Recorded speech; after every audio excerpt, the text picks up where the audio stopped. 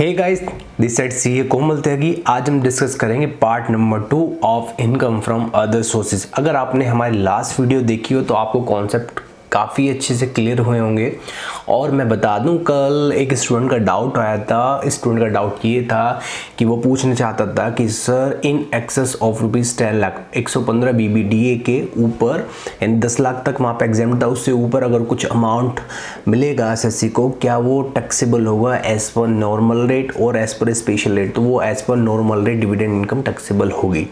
जी हाँ आप स्क्रीन पर देख सकते हैं। We have discussed in our last class section number 56 1 56 2 and further हमने डिस्कस किए थे कुछ एग्ज़ाम्पल जो एक फैमिली पेंशन के ऊपर बेस्ड था, एक कंपनसेशन के ऊपर बेस्ड था एंड उसके बाद हमने आई का स्टडी मटेरियल का आप स्क्रीन पे देख सकते हैं। ये क्वेश्चन भी डिस्कस कर लिया था, जिससे हमारे 115 O 115 B B D A ten thirty four के वगैरह में बात जानने को मिला था। और साथ में हमने डिस्कस किया था कल क्लास में सेक्शन नंबर 51 एंड 247 में एक छोटा सा पॉइंट हमने डिस्कस किया था। अभी हम क्लास को आगे कंटिन्यू करते हैं। आज मैं आपको बताना चाहूँगा कि जो गिफ्ट है, जी गिफ्ट है, ये तीन तरह के हो सकते हैं। पहला या तो मनी के रूप में हो सकता है, दूसरा या फिर किसी मूवेबल प्रॉपर्टी के रूप में हो सकता है, तीसरा या कि, या फिर किसी इमूवेबल प्रॉपर्टी के रूप में हो सकता है। अब इमूवेबल प्रॉपर्टी का मतलब लैंड या बिल्डिंग ऐसी चीज़ जो मूव नहीं हो सकती। अच्छा मनी मनी तो आप सभी समझते हैं। बात आती है मूवेबल प्रॉपर्टी मूवेबल प्रॉपर्टी क्या हो सकती है? मूवेबल प्रॉपर्टी ये मेरी टेबल मेरा laptop these can be movable property लेकिन इनकम फ्रॉम अदर सोर्सेज में इनकम टैक्स ने डिफाइन किया है कि भाई हम इन चीज़ों को केवल मोबाइल प्रॉपर्टी मानेंगे, इसके अलावा मोबाइल प्रॉपर्टी नहीं होगी। ओके सबसे पहले आप स्क्रीन पे देखो। हम बात करते हैं कि बंदे को गिफ्ट मिला। अच्छा गिफ्ट मिल सकता है फ्रॉम एनी पर्सन या फिर पर्सनस यानी बंदे को एक पर्सन से मिल सकता है या फिर मल्टीपल पर्सन से एक साथ गिफ्ट मिल सकता है तो it will be taxable under income from other sources दूसरा, अगर गिफ्ट मिला है ड्यू टू किसके due to business and profession हाँ जी बिज़नेस प्रोफेशन तो किसमें जाएगा? पी जी बी पी में जाएगा. फर्दर अगर एम्प्लॉयर से एम्प्लॉय को गिफ्ट मिलेगा तो ऑलवेज ये किसमें टैक्सेबल होगा? सैलरी में.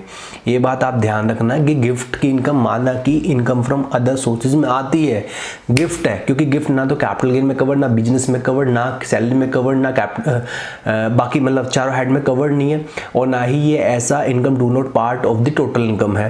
तो ये कहाँ पे आएगा? इसमें आता है अदर सोर्सेज में आता है। लेकिन अगर ड्यू टू बिज़नेस है तो पीजीवी में, अगर ड्यू टू सैलरी है, यानी एम्प्लॉयर एम्प्लॉय रिलेशनशिप है तो किसमें आता है? सैलरी हेड में आता है।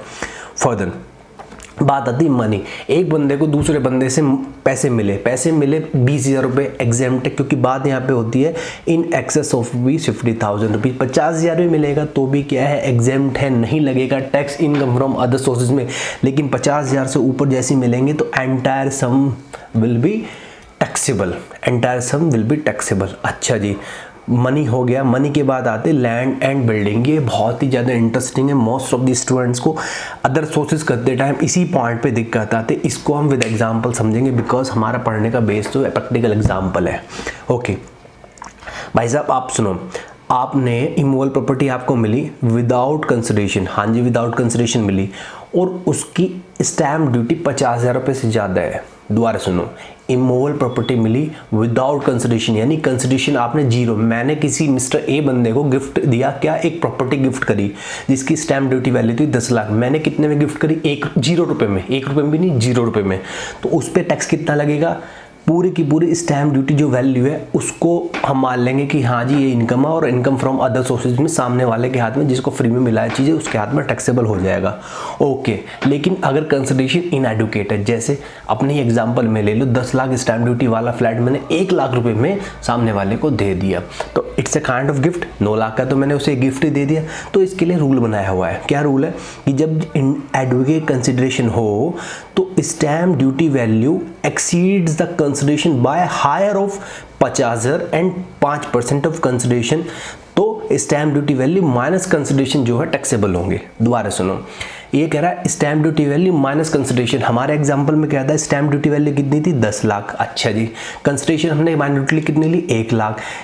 एक लाख। ओके जी। ये कह रहा है, नाइन लाख रुपीस टैक्सेबल हो जाएँगे। कब टैक्सेबल होंगे? जब स्टैम्प ड्यूटी वैल्यू एक्सीड कर रही है, किससे? हायर हो, पचास हज़ार एंड पाँच परसेंट मैं आपको प्रैक्टिकल एग्ज़ाम्पल के थ्रू बताता हूँ। लेट्स ये कह रहा है हायर ऑफ़ पचास हज़ार ए पचास हज़ार। बी कह रहा है, पाँच परसेंट ऑफ़ कंसिडरेशन कंसिडरेशन कितना था? हमारा एग्ज़ाम्पल वन लाख था। तो वन लाख का पाँच परसेंट पाँच हज़ार। इनमें हायर कौन से है? ये हायर है। अब आप डिफरेंस देखो स्टैम्प ड्यूटी और कंसिडरेशन का, क्या ये पचास हज़ार से ज़्यादा है? जी हाँ डिफरेंस तो नौ लाख है हमारा। तो ये पचास हज़ार से ज़्यादा है तो पूरा का पूरा नौ लाख विल बी टैक्सेबल ठीक है जी? For better clarity for better clarity आप ये वाला एग्ज़ाम्पल देख सकते हैं। हमारे एग्ज़ाम्पल में स्टैम्प ड्यूटी वैल्यू कितनी है? दो लाख रुपये कंसिडरेशन कितनी है? पचहत्तर हज़ार रुपये है। अब हम क्या देखेंगे? आ, क्या ये डिफरेंस है इन एडुकेट कंसिडरेशन का? ये हायर ऑफ़ पाँच परसेंट ऑफ़ कंसिडरेशन या फिर पचास हज़ार से ज़्यादा है? विच एवर इसमें जो भी हायर होगा उससे ज़्यादा है। पहला पॉइंट पहला पॉइंट हो गया। हायर निकालना हमें किसका? हायर निकालना है। हमें पचास हज़ार का। ओके और five percent of consideration consideration कितनी? पचहत्तर हज़ार। इसका पाँच परसेंट कितना हो गया? सैंतीस सौ पचास। तो हायर क्या है? पचास हज़ार। तो इन दोनों का डिफरेंस यानी एक लाख पच्चीस हज़ार, पचास हज़ार से ज़्यादा हाँ। जी, बिल्कुल ज़्यादा है। तो इसलिए एक लाख पच्चीस हज़ार विल बी टैक्सेबल मुझे पता है, बहुत स्टूडेंट्स को अभी भी समझ में नहीं आया होगा। अगर आपने ये एग्ज़ाम का आई का क्वेश्चन कर लिया तो आपको इस कॉन्सेप्ट में कोई नहीं रोक सकता। ये आपका सॉलिड कॉन्सेप्ट हो जाएगा। जी हाँ। इस कॉन्सेप्ट को पढ़ो। मिस्टर एम अच्छा जी, मिस्टर एम एक्वायर करते हैं फ्लैट फ्रॉम किस मिस्टर बी से। अच्छा 14 जून 2019 को है, जिसमें स्टैम्प ड्यूटी वैल्यू दे रखी है और कॉस्ट ऑफ़ एक्विजिशन यानी कंसिडरेशन दी हुई है। ठीक है, सबसे पहले केस फाइव करेंगे हम। Case one two three very simple है। Case four and five very interesting है। केस नंबर फाइव में क्या बोला है? कंसिडरेशन कितनी है? बारह लाख। और स्टैम्प ड्यूटी वैल्यू कितनी है? बारह लाख अस्सी हज़ार। दोनों का सबसे पहले हम क्या निकालते हैं? डिफरेंस निकालते हैं। ठीक है जी, यहाँ पे निकाल देते हैं, यहाँ पे। डिफरेंस कितना आया? अस्सी हज़ार आया। आगे जी अस्सी हज़ार डिफरेंस हाँ अब इन दोनों, इसको डिफरेंस को कंपेयर किससे करेंगे? हायर ऑफ़ ए पाँच परसेंट ऑफ़ कंसिडरेशन कंसिडरेशन कितनी है हमारे एग्ज़ाम्पल बारह लाख का पाँच परसेंट साठ हज़ार। बी पचास हज़ार। हायर क्या है? साठ हज़ार। क्या ये डिफरेंस साठ हज़ार से ज़्यादा है? हाँ जी, ज़्यादा है डिफरेंस साठ हज़ार से तो पूरा का पूरा अस्सी हज़ार विल बी टैक्सेबल डिफरेंस साठ हज़ार ज़्यादा तो यहाँ पे इस केस में कितना आ जाएगा? अस्सी हज़ार will be taxable okay case number four case number four बारह लाख है? हाँ जी. डिफरेंस निकालो. डिफरेंट कितना है? फिफ्टी नाइन डिफरेंस जो है, वो है फिफ्टी नाइन थाउज़ेंड इसको कंपेयर करेंगे हायरो पचास हज़ार या फिर पाँच परसेंट ऑफ़ कंसिडरेशन बारह लाख साठ हज़ार।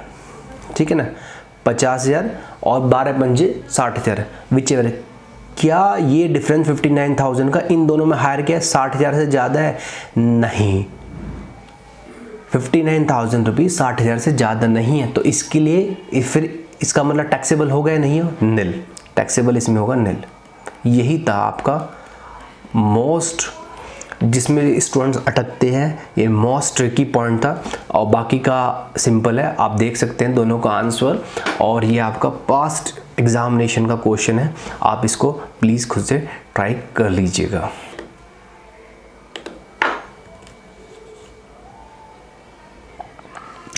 हाँ जी सर अब हम आगे बढ़ते हैं।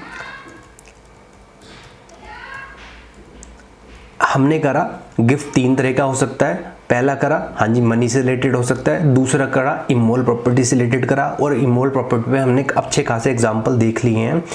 अब हम बात करते हैं मूवेबल प्रॉपर्टी भाई साहब मूवेबल प्रॉपर्टी में स्टैम्प ड्यूटी वैल्यू तो होगी नहीं मूवेबल प्रॉपर्टी में तो क्या होगा? जी, इसकी फेयर मार्केट वैल्यू होगी। तो बस स्टैम्प ड्यूटी की जगह आपको फेयर मार्केट वैल्यू रख देना है। यानी अगर प्रॉपर्टी यानी प्रॉपर्टी यानी मूवेबल मूवेबल प्रॉपर्टी क्या हो सकती है? ज्वेलरी शेयर ड्रॉइंग में अभी आपको बताऊँगा कि प्रॉपर्टी क्या होती है, क्योंकि यहाँ पर लैपटॉप टेबल प्रॉपर्टी नहीं डिफाइन किया वॉच प्रॉपर्टी नहीं है, यहाँ पर प्रॉपर्टी की डेफिनेशन है। नौ से दस उसमें पॉइंट दिए हुए हैं, यही प्रॉपर्टी माननी है, तभी वो इनकम फ्रॉम अदर सोर्स में टैक्सेबल होगा। अच्छा अगर विदाउट कंसिडरेशन है, जी हाँ विदाउट कंसिडरेशन है, और फेयर मार्केट वैल्यू उसकी पचास हज़ार से ज़्यादा है तो पूरे की पूरी F M V will be taxable let's take example मैंने मिस्टर ए को ज्वेलरी दी साठ हज़ार रुपये की। मैंने ज्वेलरी दी साठ हज़ार रुपये की, ठीक है ना? और कितने में दी? फ्री में। साठ हज़ार रुपये जिसकी मार्केट वैल्यू थी, वो ज्वेलरी मैंने फ्री में दी। यानी मेरी फेयर मार्केट वैल्यू पचास रुपये से ज़्यादा है। हाँ जी तो पूरा का पूरा साठ हज़ार विल भी टैक्सेबल यहाँ पे पूरा का पूरा साठ हज़ार विल भी टैक्सेबल हो जाएगा। इन द सेम वे अगर मैं फॉर ए कंसिडरेशन देता हूँ, जो कंसिडरेशन मेरा इनएडुकेट है कंसिडरेशन देता हूँ बट कंसिडरेशन मेरा क्या है? इनएडुकेट है। और उस इनएडुकेट कंसिडरेशन का कंसिडरेशन का और market value fair market value का डिफरेंस पचास हज़ार से ज़्यादा है।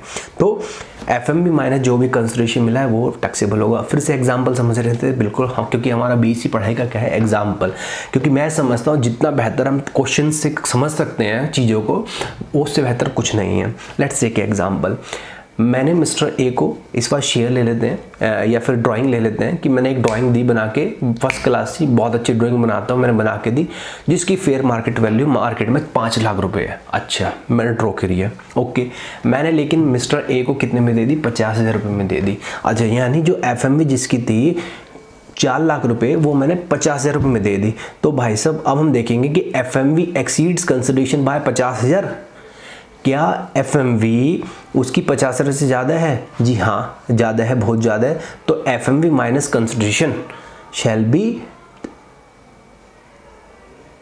sorry sorry sorry sorry sorry sorry यहाँ पे हमें इस तरह पढ़ना था। F M V exceeds consideration by पचास हज़ार रुपये। एफ़ एम वी यानी चार लाख माइनस कंसिडेशन यानी पचास हज़ार। क्या ये डिफरेंस पचास हज़ार से ज़्यादा है? हाँ जी, ये डिफरेंस पचास हज़ार से ज़्यादा है क्योंकि साढ़े तीन लाख का डिफरेंस है। तो तो F M V minus consideration यानी चार लाख माइनस पचास हज़ार will be taxable as income from other sources तो यहाँ पे साढ़े तीन लाख टैक्सेबल हो जाएगा इनकम फ्रॉम अदर सोर्सेज अच्छा स्टैम्प ड्यूटी वैल्यू का मतलब क्या है? स्टैम्प ड्यूटी अथॉरिटी ने जो भी वैल्यू अडॉप्ट करी है, किसी भी लैंड बिल्डिंग की, उसको लेते हैं। वो क्वेश्चन में आपको दिया होगा। मैं आपको बता देता हूँ, क्या कहते हैं? प्रॉपर्टी में क्या क्या चीज़ें कवरअप होती हैं? प्रॉपर्टी में कवरअप होते हैं मूवल प्रॉपर्टी उसके बाद share and securities jewellery archaeological collection ये मैंने आपको एक फ़ोटो भी दे दिया। This is kind archaeological collection पुराना पुराना पुरातत्व विभाग साइंटिफिक पुराने सिक्के हो सकते हैं, पुराने तलवार, पुरानी चीज़ें जो ह्यूमन्स ने बनाई थी और जो साइंटिफिकली हमने फाउंड किए पुरातत्व विभाग वालों ने फाउंड करते हैं तो उन्हें सबको आर्कोलॉजिकल कलेक्शन बोल सकते हैं। और ड्राइंग पेंटिंग से आपको याद आ गया होगा, जो क्या कहते हैं मूवी वेलकम था, अनिल कपूर ने बनाई थी ड्राइंग करी थी पेंटिंग बनाई थी, हिरन के ऊपर शेर था I think so sculpture sculpture पुरानी मूर्तियाँ, जैसे ये मैंने एक आपको ड्राइंग दी है स्कल्पचर बुलियन, ये बुलियन होता है प्योर गोल्ड होता है, सोने के सिक्के हो सकते हैं, ये सब आपका क्या है प्रॉपर्टी डिफाइंड है, केवल आपको यही नाम याद रखने अगर ये देता हूँ मैं किसी को, और उसकी एफ़ एम वी पचास हज़ार रुपये से ज़्यादा है विदाउट कंसिडरेशन केस में तो पूरी की पूरी F M V will be taxable consideration case में एफ़ एम वी माइनस जो भी कंसिडरेशन है, उसका डिफरेंस पचास हज़ार रुपये से ज़्यादा है तो एफ़ एम वी माइनस जो भी कंसिडरेशन होगा that will be taxable as income from other sources केवल यही, इसके अलावा नथिंग एग्जा क्वेश्चन में आता है कि यार मैंने एक घड़ी दी वॉच दी, या फिर क्वेश्चन में आता है मैंने कार गिफ्ट करी तो car is not covered in the definition property तो उसको लेंगे नहीं. Okay okay. अब यहाँ पे क्वेश्चन उठता है, क्या सर ये 56 टू जो टेन सेक्शन आपने इतना पढ़ाया है, इतना 10 मिनट इस पर लगा है, क्या सर इसका कोई एक्सेप्शन है? हाँ जी एक्सेप्शन है। अगर आपको गिफ्ट मिलता है, किससे? रिलेटिव से मिलता है on the occasion of marriage मिलता है विल के तहत मिलता है इनहेरिटेंस में मिलता है आपको कंटेम्पलेशन ऑफ़ डेथ में मिलता है लोकल अथॉरिटी जैसे पंचायत म्यूनिसिपलिटी कॉरपोरेशन या फिर डिस्ट्रिक्ट बोर्ड कंटोनमेंट बोर्ड इनसे मिलता है आपका गिफ्ट तो क्या टैक्सेबल होगा? नहीं होगा। यानी अगर मेरे को ज्वेलरी मिलती है मेरे फ्रॉम रिलेटिव से, हालाँकि रिलेटिव डिफाइन है, या मेरे मेरे को on the occasion of marriage में मेरे को एक करोड़ की ज्वेलरी मिलती है। So this will not be taxable as a gift okay income from other sources में वो टैक्सेबल चीज़ नहीं होगी, क्योंकि ओकेजन क्या है? मैरिज है। मैरिज क्या एक्सेप्शन है। आपने सुना ही होगा प्रैक्टिकली हम लिंक करते हैं इसको कि बहुत बड़ा कन्यादान आ जाता है लड़कियों की शादी में। तो कभी आपने सुना क्या वो टैक्सेबल होता है? बिल्कुल टैक्सेबल नहीं होता। Okay okay. हालाँकि जब रिलेटिव को मिलता है, इसमें यहाँ पे टैक्सेबल नहीं होगा, लेकिन क्लबिंग ऑफ़ इनकम के प्रोविज़न अटैक्ट होते हैं कुछ। ओके। फर्दर अगर आपको गिफ्ट मिला किसी फंड से, फाउंडेशन से, यूनिवर्सिटी से, एजुकेशनल इंस्टीट्यूशन से से या फिर हॉस्पिटल से, फर्दर चैरिटेबल ट्रस्ट या फिर रिलीजियस ट्रस्ट से मिला है तो भी आपका टैक्सीबल नहीं होगा। ओके अब डेफिनेशन ऑफ़ रिलेटिव है, बहुत सिंपल है, आप याद रख सकते हो। भाई, कोई इंडिविजुअल है, जैसे मैं इंडिविजुअल हूँ, मेरी स्पाउस मेरी स्पाउस कवर होगी अच्छा ब्रदर सिस्टर ऑफ़ मेरे भाई बहन ओके मेरे भाई बहन। अभी मैं अपनी बात कर रहा हूँ, मेरी स्पाउस आ गई, मेरे भाई बहन आ गए, ठीक है? मेरे असेंडेंट इनहेरिटेंस असेंडेंट डिसेंडेंट मेरे आगे की पीढ़ी, मेरे पीछे की पीढ़ी माँ बाप माँ बाप के माँ बाप आ गए। ब्रदर सिस्टर और पेरेंट्स मेरे माँ बाप के भाई बहन भी कवर अप हो गए। दूसरा क्या है? Brother sister of the spouse brother sister अच्छा अब बात करते हैं। अभी तक मैंने अपनी बात करी थी। मैंने क्या बात करी? अपनी मैं, मेरी स्पाउस होगी। स्पाउस के मेरे माँ बाप होंगे। मेरे माँ बाप के भी माँ बाप होंगे। मेरे नीचे बच्चा बच्ची होगी। मेरे बच्चे बच्चों की भी बच्चे बच्ची होगी। उसके बाद क्या है? मेरी स्पाउस मेरी स्पाउस में क्या कवर है? मेरी स्पाउस के भाई बहन कवर है। और, या फिर स्पाउस के पेरेंट्स उनके भी पेरेंट्स ठीक है ना? तो ये सब चीज़ें कवर हैं। आप एक बार देख लेना है खुद से। It's very simple further in case of H U F H U F में एनी मेंबर यानी हर मेंबर एक एक कोई भी एच यू एफ़ के लिए मेंबर रिलेटिव माना जाएगा। सपोज़ लेट्स टेक एग्ज़ाम्पल क्योंकि हमारी प्रैक्टिकल क्लास है पूरी की पूरी। सपोज़ करो मिस्टर ए एक एचयूएफ का मेंबर है। ए एच है, ठीक है। मिस्टर ए क्या करता है? एचयूएफ को ज्वेलरी देता है। एचयूएफ को ज्वेलरी देता है। कितनी ज्वेलरी देता है? तकरीबन दस लाख रुपए की ज्वेलरी देता है कि एचयूएफ में। तो एचयूएफ के हैंड में टैक्सीबल नहीं होगी क्योंकि मिस्टर ए मेंबर है एचयूएफ का और एचयूएफ रिसीव कर रही है। मैं बोल रहा हूँ एच रिसीव कर रही है तो एचयूएफ के हैंड में this will not be taxable member दे सकता है एचयूएफ को, लेकिन एच मेंबर को नहीं दे सकती। ओके. इसके साथ ही साथ हमने ये क्वेश्चन डिस्कस कर लिया था। काफ़ी अच्छा क्लियरिटी होगा। आपको एक क्वेश्चन हम आईसीआई को और करेंगे। हम डिस्कस करेंगे illustration number five illustration number five बड़ा इजी है, बड़ा इंटरेस्टिंग है। आप मेरे साथ डिस्कस करेंगे। बिकॉज़ हमारा जितना क्लास है, पूरा का पूरा प्रैक्टिकल बेस्ड के ऊपर है। हमारा टारगेट है कि स्टूडेंट्स को जितना हो सके प्रैक्टिकल चीज़ों से लिंक कराया जाए। चूँकि थियोटिकल भूल जाते हैं कुछ टाइम बाद। प्रोविज़न अगर मैं आपको बताता रहूँगा तो आपको ऐसा लगेगा कि हाँ मेरे पे आ गया। लेकिन कुछ टाइम बाद क्या लगेगा कि यार मैं तो भूल भी गया। लेकिन जब प्रैक्टिकल क्वेश्चन आप मेरे साथ कर लेंगे और इवन आई के क्वेश्चन हम टच कर रहे हैं इट मीन्स मैं अपने कुछ नए क्वेश्चन नहीं बना रहा। मैं केवल एग्जाम्पल्स बना रहा हूँ। साथ में मेरा टारगेट है कि हम सी uh, फाइनल का सब्जेक्ट आई के जितने मैक्सिमम क्वेश्चन कवरअप हो जाएँ वो करेंगे या फिर पास्ट ईयर एग्जामिनेशन के क्वेश्चन कवरअप करेंगे। तो ये हमारा टारगेट है। आप देख सकते हैं, ये पूछ रहा डिस्कस द टैक्सेबिलिटी अच्छा टैक्सेबिलिटी बताता है in the hands of recipient मिलने वाले के हैंड्स पे। भाई अदर सोर्सेज का चैप्टर हमेशा रिसिपिएंट के हैंड में हम देखेंगे। ये बात आई होप आपको क्लियर होगी, क्योंकि जिसको गिफ्ट मिला उसी के हिसाब से तो टैक्सेबल होगा। कह रहा, Akhil H U F receive पचहत्तर हज़ार in cash from the niece of Akhil Akhil H U F receive कर दे नीस ऑफ़ अखिल यार नीस जो होती है, भतीजी, वो एच यू एफ़ की मेंबर होती है, नहीं होती नहीं होती, क्योंकि एच यू एफ़ में मेंबर कौन होते खुद बंदा, उसकी वाइफ उसके बच्चे खुद के होंगे, चाचा या भाई के बच्चे नहीं होंगे। तो यहाँ पे that is daughter of Akhil sister की टोटल से मिला। इट विल बी टैक्सेबल क्योंकि रिलेटिव से नहीं मिला अदर देन रिलेटिव से मिला। दूसरा, आप देख सकते हैं, यहाँ पे कह रहा है एंटायर मनी है विल बी टैक्सेबल क्योंकि रिलेटिव नहीं है, और पचास हज़ार से ज़्यादा, इसलिए पूरा का पूरा अमाउंट टैक्सेबल हो गया। दूसरा एक कह रहा Nitisha a member of her father's H U F okay transfer house property to H U F without consideration भाई साहब विदाउट कंसिडरेशन है। विद कंसिडरेशन होता तो पाँच परसेंट पचास से विच एवरेज हायर को हम कंपैरिजन करते हैं डिफरेंस से। लेकिन विदाउट कंसिडरेशन है विदाउट कंसिडरेशन में हम क्या करेंगे? पूरा का पूरा स्टैम्प ड्यूटी वैल्यू विल भी टैक्सेबल हो जाएगा। लेकिन रिलेटिव हुआ तो उसका एक्सेप्शन है। ये कह रहा है Nitish member of her father H U F अपने फादर की एच यू एफ़ है, ठीक है, ट्रांसफर्ड है हाउस प्रॉपर्टी देखो, बेटी तो कवर होगी डेफिनेशन में रिलेटिव की। और अगला देख लेते हैं पॉइंट नंबर फोर किसान H U F gifted a car to son of करता फॉर कार है यार, जैसी कार देखा, वैसी मेरे को दिमाग में क्लिक हुआ car is not covered in the definition of property property की डेफिनेशन में आते ही नहीं प्रॉपर्टी की डेफिनेशन में क्या आते हैं? आप जे डी से। एक्चुअली मैंने जो स्कूलिंग करी थी, वो जे डी पब्लिक स्कूल से करी थी तो आप जे डी से, हम तो जे से हैं। जे बोले तो ज्वेलरी, डी बोले ड्राइंग ए बोले तो any other work of art archaeological collection P बोले तो पेंटिंग स्कल्पचर मैं इस तरह नाम याद कर सकता हूँ। इसके अलावा सिक्योरिटी होगी, इसके अलावा शेयर्स होगी, इसके अलावा मनी होगी, इसके अलावा इमोल प्रॉपर्टी होगी लैंड बिल्डिंग जो कि कवरअप होता है, ये प्रॉपर्टी की डेफिनेशन में आता है, जो इनकम फ्रॉम अदर सोर्सेज में टैक्सेबल होगी। तो car is not cover in the definition of property तो ये यहाँ पे कवर अप नहीं होगा। गाइज़ आपको प्रेजेंटेशन इसी तरह करनी है, जैसे ये क्वेश्चन था, आप देख सकते हैं इस क्वेश्चन में क्या पॉइंट ये क्वेश्चन आपको ज़्यादा से ज़्यादा फाइव मार्क्स के लिए आएगा। तो आपका जो एक्सप्लेनेशन होगा, एक पॉइंट में बिल्कुल सटीक होगा। पेजेस नहीं बनना है। आपने सीधा पॉइंट वाइज आंसर देना है दे दिया। You have to make your concept and make your answer in the same way आपका आंसर जो भी होगा, वो सटीक होगा, बिल्कुल पॉइंट टू पॉइंट होगा। और अगर आपको ये क्लास अच्छी लगी हो then you can share this video अगर आपको कोई भी डाउट है then you can mention you doubt in the comment box and you can call me and you can WhatsApp me whatever you want to make you can do I am just here to help you till your examination and later on thank you guys.